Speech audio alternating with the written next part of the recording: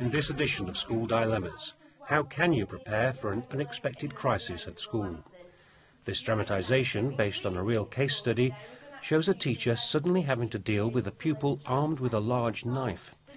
Is there anything she could have done to prevent the incident? And how would you have reacted in the same situation? Although the dramatisation reflects real events, we're not, of course, using the actual people or school involved. In this job, you should always expect the unexpected. I was about to start a lesson with my Year 11 food technology class.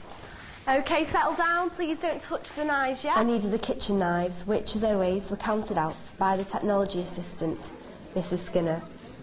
One of the class stars was Lily. She quietly absorbed everything she was taught. She preferred to be left by herself, so she could go at her own pace. At least that's what I presumed.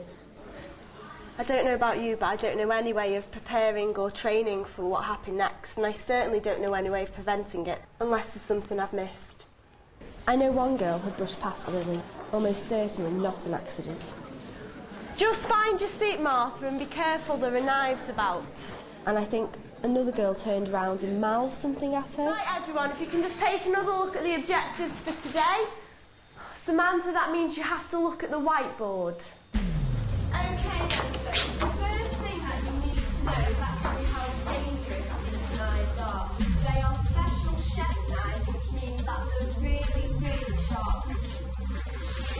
Suddenly, Lily snatched a knife and ran across the room shouting, You bastards!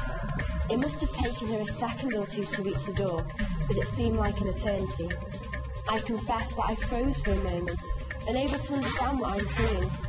Then instinct took over, and I barked out instructions. Lily, stop! Come back! Quick, Angela! Find Mrs. Skinner, get her in here! Alan, go to the office and tell him what's happened! Then I ran like hell after Lily. Lily! Lily, stop! I guess she might be heading for the nearest exit. I caught up with her by the doors.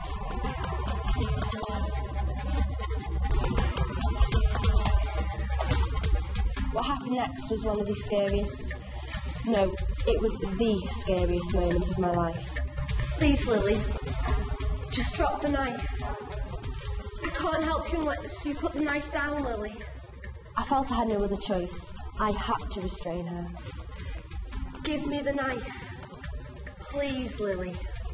I was about to make a lunge when a firm hand gripped Lily's wrist. A colleague who had been alerted had arrived in the nick of time. I'll take her to the medical room. I wanted to go with Lily, but I needed to get back to my class. For the first time, it struck me that I shouldn't have left a room full of pupils with knives.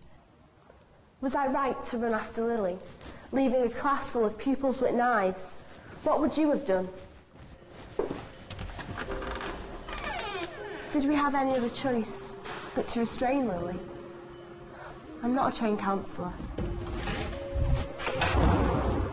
It was just luck that a colleague arrived on time.